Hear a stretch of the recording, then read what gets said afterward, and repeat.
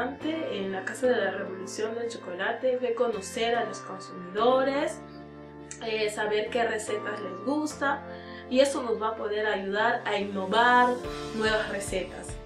Y también me gustó eh, aprender de cómo ellos viven aquí en Suiza, en Europa y de igual manera compartir mi vida del Alto Guayabamba con ellos.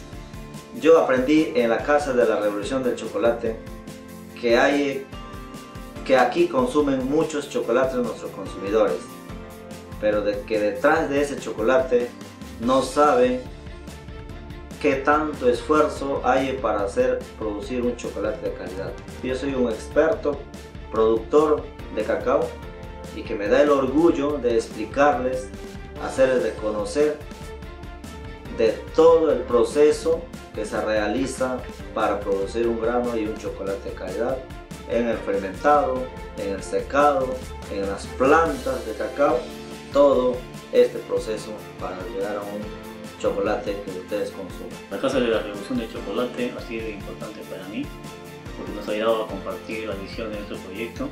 Ahora no solamente somos aportadores de grano, somos de nuestra propia empresa, de nuestro chocolate, dueños de nuestra propia marca y esperamos que los consumidores sean nuestros embajadores del proyecto Choba y nos ayuden a difundir el proyecto.